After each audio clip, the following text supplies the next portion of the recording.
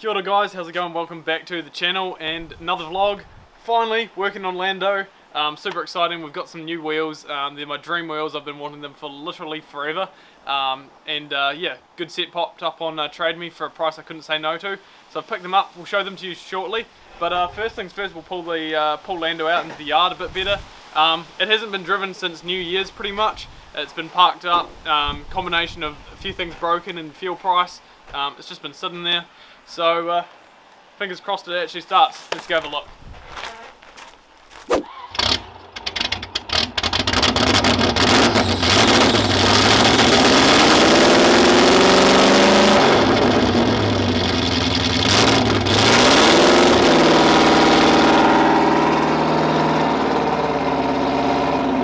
And it's not all the cylinders.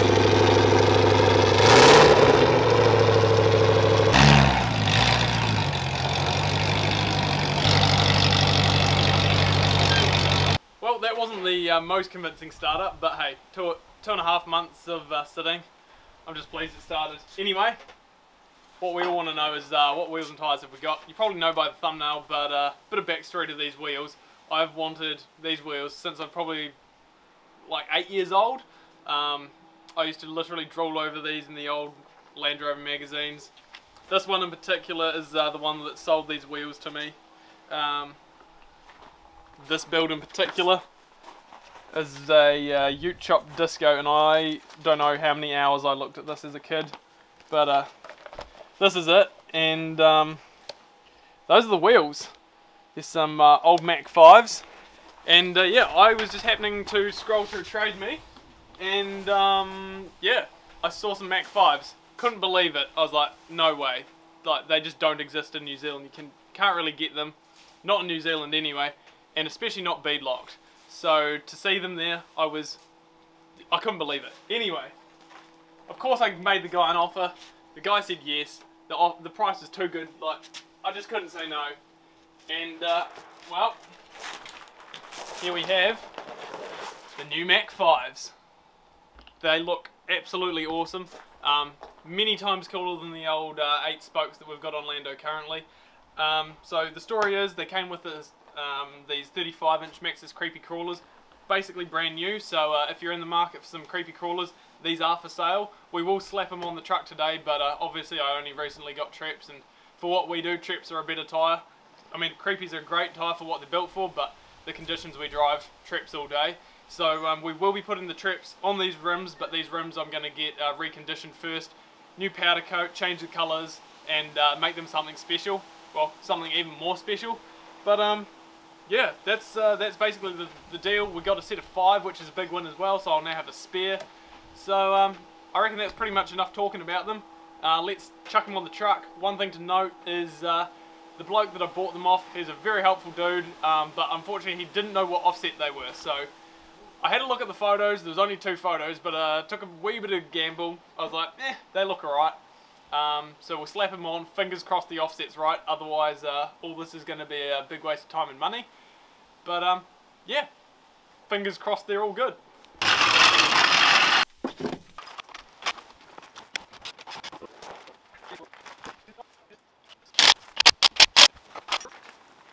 Alright guys, that looks good.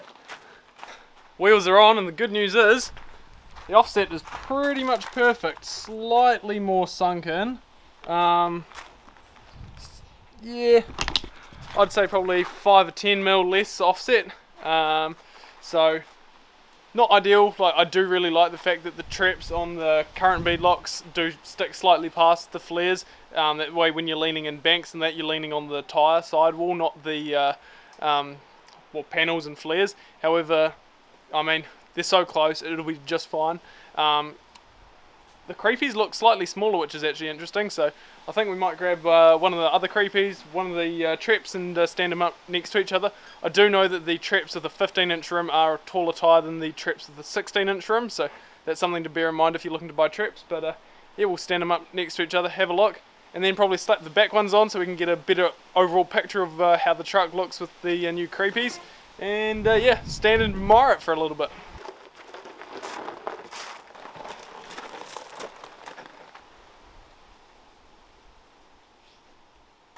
Not super scientific, of course, being on gravel. However, the Trep's uh, definitely like a good what, close to an inch taller probably. So uh, something interesting. Anyway, as I said, if you want to buy a set of uh, creepy crawlers, hit me up. Let me know on Instagram.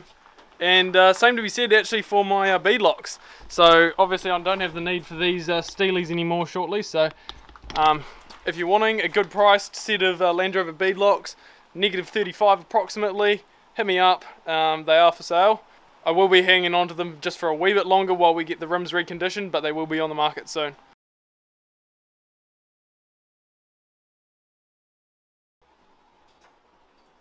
Guys, the fitment. That fitment's come up real good. Um, just, just past the flare. So uh, that is what we like to see.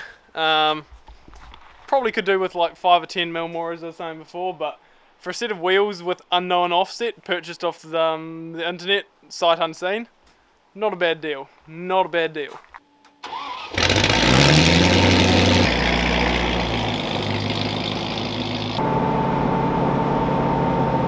It's so good to be back in this thing guys. It's been like two, two and a half months since I've driven it.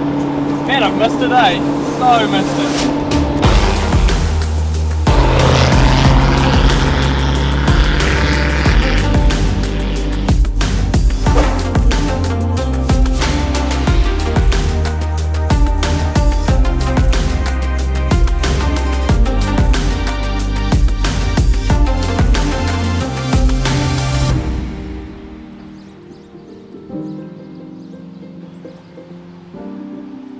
Alright guys, well obviously we've just popped down to this uh, local wee spot I've uh, popped down to a few times before to take some photos.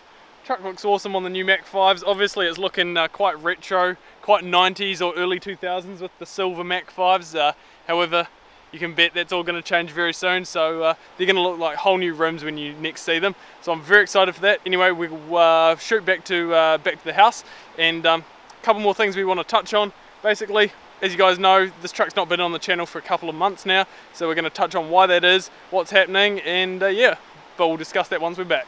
We have just popped back home, um, and we're going to crack into removing the bead locks, uh, well, removing the tyres off the bead locks. So, um, for you channel regulars, you'll know all about bead locks. However, for those of you who don't, um, essentially, there's the bead of the tyre, which is where the edge of the tyre is, and then um, a normal rim relies on the air pressure pushing up against the uh, rim to hold it on.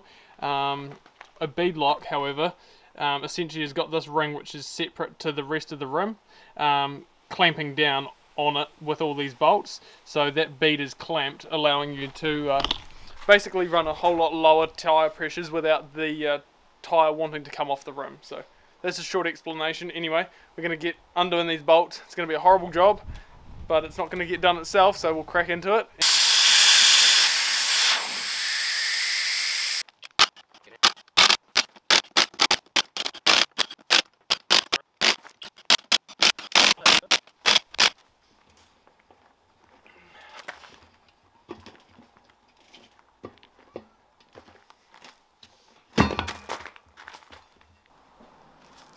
Alrighty guys, well as you can see we've got the beadlock rings off and the tyres are ready to be taken away to uh, have the rims taken out. Um, so we're going to look at a couple different options because they have uh, a nut on the back of them. Um, it's a lot nicer if the uh, nut is captive. Um, we can't cut threads into it because they're already over drilled but I'll look at um, I know dynamic wheels have um, like some nutserts that go in not like well they're kind of like riv nuts but slightly different so I'll look at that, see if that's an option. Otherwise, we'll just have to run, you know, standard nuts, but that'll be all good. Anyway, I promised you I would touch base on where Lando has been. Um, unfortunately, number one, the price of fuel is just absolutely ridiculous right now. Like, I don't know how we're ever going to afford to go full driving, but don't worry, we'll make it work. Um, but yeah, prices in New Zealand for those of you who are overseas, like where we're based, it's like $3, $3.50 per litre for petrol, which is just unbelievable. Um, it makes, you know, popping down the river for an afternoon a, you know, $100, $150 trip sort of thing. So um, that's partially it. Um, it's also got a little bit of work needing doing after the, uh, we did about 2,000 Ks over um, New Year's when we did the double uploads all of January. 2,000 Ks in a truck that's uh, kind of set up for the hard stuff is uh, I mean, it did it well, but um, we did come back with a little bit of damage from uh, the coast and the high country. Um, so we've got a pinion seal that's let go in the back. It's tipping its oil out, which is obviously no good. Um, the alternator is sounding terrible. The bearing's been on its way for a while. Heater, oh no, sorry, not heater hose. One of the coolant lines has split. That happened down uh, while we're camping in Twizel. Um, it's currently got silicon tape around it holding it together and I mean it got us home but uh, definitely needs replacing. We've uh, also got one of the uh, idler pulleys is literally about to fall off. Um, the bearing is so far let go so again that's on me um, so I need to get that sorted. Um, Panhard rod uh, that let go up in the uh, high country. Um, you might remember what seeing in the video just watching the Panhard just slogging around.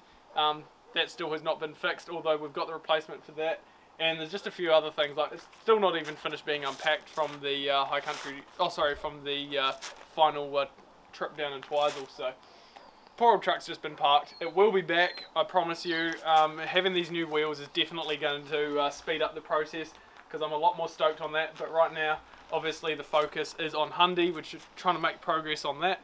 Um, so yeah we are going to be doing a Q&A regarding Hyundai in the next video so if you have any questions about Hyundai um, be sure to let, leave them down in the comments below. Um, and uh, yeah in the next build video on Hyundai we will be uh, answering them all for you. So let us know down below what you think of uh, Hyundai what you want to know and also let me know what you think of the new wheels because I'm super excited. Um, as I say dream wheels. I've wanted them for what 10 15 years so super stoked to get them but yeah, hopefully you guys like them too. Let me know what colour you reckon I should paint these. I've already got my mind like 90% set, but uh, if enough people uh, throw a different colour option out there, I, uh, I could be swayed. Anyway, give us a like if you enjoyed today's video. Thank you all very much for watching. Hit subscribe if you haven't already to stay tuned for everything else we've got coming. We'll catch you all in the next one. Cheers for watching. We'll see you then.